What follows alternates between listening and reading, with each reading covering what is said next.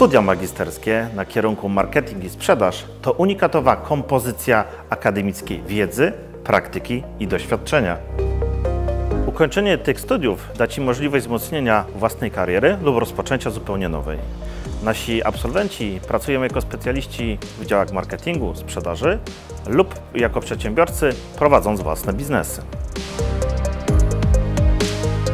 Wybierając kierunek marketing i sprzedaż w Wyższej Szkole Bankowej, wybierasz kierunek, który jest owocem współpracy kadry akademickiej i pracodawców naszej Rady Biznesu.